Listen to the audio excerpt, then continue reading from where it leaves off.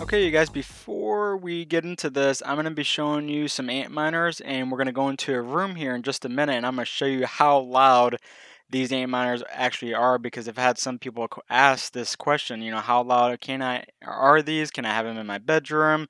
Uh, you know, I don't mind having GPUs mining in my bedroom because they're not really that loud, but they do generate some heat, so just be cautious of that. But these Antminers I would never have in a bedroom because they are just so loud and they produce a lot of heat. Even if you have a big AC unit, it's just producing a lot of heat. So let's go into this video and I'm going to show you how loud these are. I would also check your speaker volume before you get to this next clip.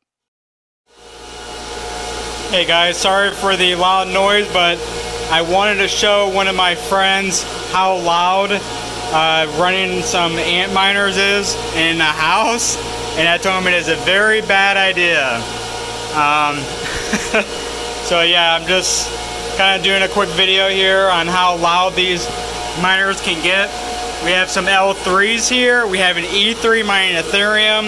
And then we have a, a T9 mining Bitcoin. We have two more L3s. We're doing a lot of Litecoin. We have some A3s back there. Um, we have this big AC unit trying to cool these down. But yeah, this is a, a lot of noise in this room. Hey guys, we're in our second room right now. These are the other miners that we have running. Like I said, this is not a good idea to have them running in a house because they're just that loud. If you have one or a couple, maybe you could put them in the garage if you have enough power.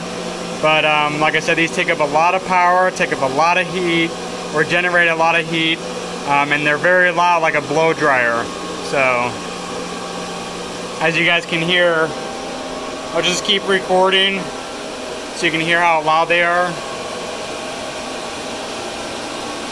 But we have different type of miners here. We have uh, anything from L3s to S9s um, to a D3 mining Dash, some Litecoins, uh, Bitcoin miners, which is the S9. We even have some older S7s just because, hey, we have them, as well just use them, they're mining. I know it's not very profitable, but hey, we have them, use them. So as you guys can see, it is very loud. So just have that in mind as you're doing this. Maybe if you have a garage that you can put an AC unit in, that you can pull more breakers in on your panel, you know, that's an option. Maybe you have a closet that you can put an AC and run some more power into it. So you have these other options. Um, I'm not saying you can't do it, but just be aware of the noise level that these produce. If you have any suggestions, like trying to maybe downgrade the miner, put different fans on it, or maybe put in a cooler. I've seen people do that to help with the, the sound level. You know, put in the uh, comments below in this video, and maybe someone it'll be helpful to someone. But anyways, hope this video was helpful, you guys. I'll see you in the next one.